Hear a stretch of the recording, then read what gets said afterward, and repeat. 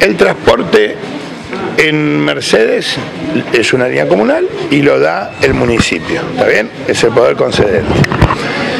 Eh, la empresa, la empresa que estaba, eh, la empresa que estaba trabajando en esto, tengo entendido, presentó la quiebra ayer.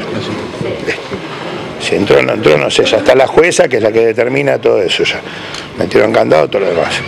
Bueno, ahora lo que resta es, tengo entendido que se va a decretar la emergencia en el transporte y que se van a hacer los pliegos para una nueva licitación ahí va a estar, es, un tiempo que vamos a tener que tratar de, bueno, alguna otra empresa que esté interesada o más, por lo menos para que presten servicio una determinada cantidad de meses hasta que se puedan firmar esos pliegos. Eh, se han hecho gestiones por todos lados, acá este es un tema de la ciudad, así que no es un tema de partido ni, ni mucho menos. La primera reunión la hemos tenido con la gente de la UTA y los trabajadores, la preocupación, y esto hay que separar dos situaciones. Una la situación de la empresa y otra la, situación de la prestación del servicio.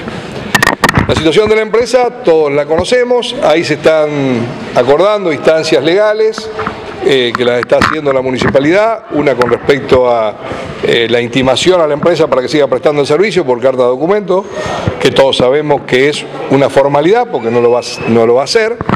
Eh, lo segundo es la declaración de una emergencia sobre el tema del transporte público de pasajeros, lo que nos permite a todos, concejales, intendentes, a tomar determinadas medidas.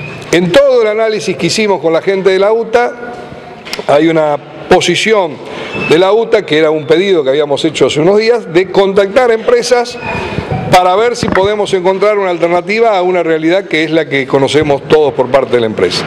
La empresa, la UTA se va a estar reuniendo hoy a la tarde con alguna gente para ver si realmente alguna de las empresas que están cerca, llámese el 57, Transporte La Plata y otras dos que las mencionaron ellos que las conocen, van a tener una reunión hoy a la tarde, vamos a tener alguna información mañana. El transporte en Mercedes, el poder concedente es la municipalidad y son ellos los que van a decir eh, cuándo va a arrancar o no.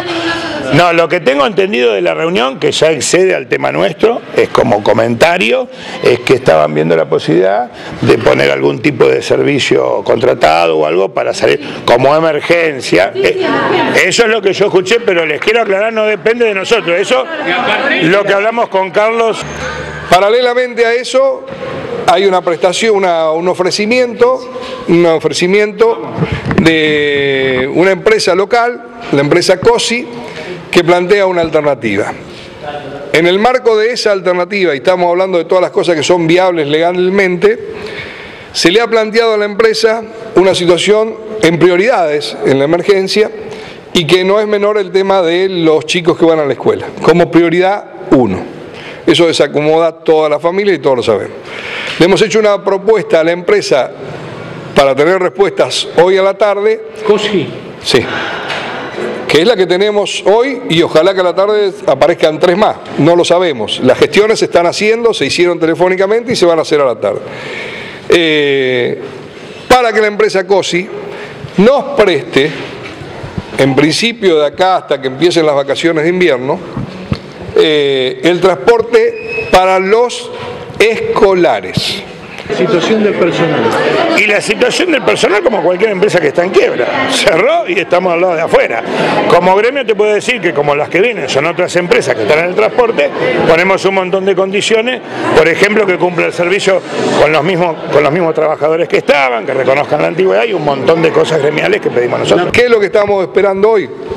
En principio marcando esto de las prioridades una respuesta principalmente de acá hasta que empiecen las vacaciones de invierno, que nos va a permitir en estos días tener respuesta de las empresas de Buenos Aires, tener respuesta para, eh, del juzgado con respecto a la situación también de la empresa que está eh, que se ha presentado en su propia quiebra, solucionar en principio esto. Si surge que ese transporte de los chicos, de los chicos, si surge una alternativa nueva de las reuniones que la empresa, eh, que el sindicato tenga con las tres empresas que ha tratado de mantener, que va a mantener reuniones hoy a la tarde, nos volveremos a juntar, está establecida esa situación y buscaremos cuál es la, el segundo paso partiendo de la emergencia. Intendencia de Ocarco, O sea, después, un empresario que tuvo la concesión y que fue convocado por el intendente, según nos dijo, al ingresar.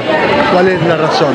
Mira, esas preguntas se las tienen que hacer el intendente, que es el que hizo. eh, No, no, yo desconozco todo eso.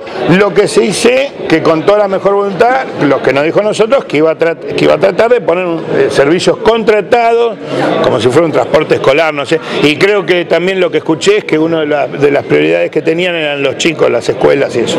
No van a prestar el mismo servicio que estábamos prestando hasta ahora, pero es todo hasta que se hagan los pliegos.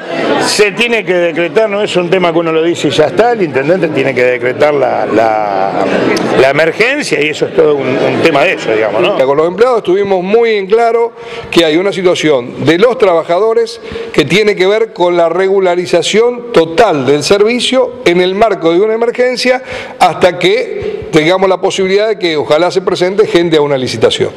Eso se lo saben los trabajadores, este, hemos estado justamente por eso tuvimos tanto tiempo, porque lo que nos preocupa, por supuesto, prioritariamente es el tema de los servicios, secundariamente el tema de los, de los trabajadores. Esto se quedó acordado con los trabajadores, saben de que nosotros tenemos que salir de la situación haciendo los caminos que tengamos posible de llevar adelante y que los podamos cumplir. En esto ha habido voluntad de los trabajadores, voluntad del gremio y ahora estamos con dos canales abiertos que hemos gestionado todos los que estamos acá respecto a las nuevas empresas dispuestos a modificar condiciones, a adjudicar directos en la emergencia por un tiempo prudencial hasta que se llame una licitación, que no hay otra forma de adjudicar. Todo eso se lo ha llevado no solamente el sindicato, sino los trabajadores y en donde cualquier licitación que se establezca, la prioridad la va a tener aquella empresa que incorpore a todos los trabajadores. El sindicato tiene que actuar a partir ya de la quiebra en el sistema judicial. Eh, es un reclamo de los trabajadores que lo podemos llevar adelante nosotros por otro tema. Nosotros lo que nos interesa es la fuente de trabajo. Y como va a venir otra empresa acá, la condición nuestra como gremio es que sean los mismos trabajadores. En lo personal yo también quiero que tengan las mismas condiciones que tenían, o sea, antigüedad y todo lo demás. Y son los compañeros están sin cobrar también. Los subsidios Que es más, van a hacer hasta, por eso te digo la buena voluntad del municipio, se va a hacer una nota a ver la posibilidad de que se le dé algún tipo de subsidio a los muchachos hasta que, que puedan Juan Interro, ¿cuál es el Entonces- posicionamiento del Frente Mercedino ante este conflicto, ante esta situación? Bueno, estamos ante una situación de emergencia, de crisis eh, realmente muy grave, entonces en este marco lo más sensato es la unidad, a pesar de las diferencias, tratar, como dijo el intendente, de a partir de mañana restablecer un servicio con una prioridad que coincidimos todos que son los chicos que van a la escuela y bueno, y seguir trabajando y seguir trabajando a fondo para dar una, una respuesta a todos los sectores, a los trabajadores. Hay zonas que están muy alejadas, eh, la zona de Goblan, La Verde, Tomás Jofré, y que, bueno, los trabajadores necesitan venir todo- todos los días, todos los días a Mercedes. Eh, a hoy eh, es esto, la voluntad del Consejo Deliberante es estar en estado de, de crisis y de alerta permanente y poder en conjunto hacer gestiones para buscar solución al problema no solamente de los chicos, sino del conjunto de la población de los ciudadanos. Yo te digo esto, hoy le estoy diciendo, la única conversación que estamos teniendo en este momento con la empresa COSI es para ver si encontramos una alternativa al transporte de los chicos que llevan a la escuela. Eso hasta tiene un plazo, porque estamos al 12, 15 de julio que estamos en vacaciones, también es una situación. Lo que digo es, la primera respuesta que estamos esperando, que la vamos a saber hoy a la noche, para ver si tenemos una solución aparte del problema, parte del problema, por una prioridad que hemos establecido en la realidad de elementos que tenemos, la vamos a tener hoy a la tarde. Vamos a comunicar oficialmente esa situación. En el medio, eh, paralelamente con esto, se empiezan a hacer gestiones para la solución integral del tema. Entonces, decirle lo que nos pregunta la señorita es imposible decírselo ahora.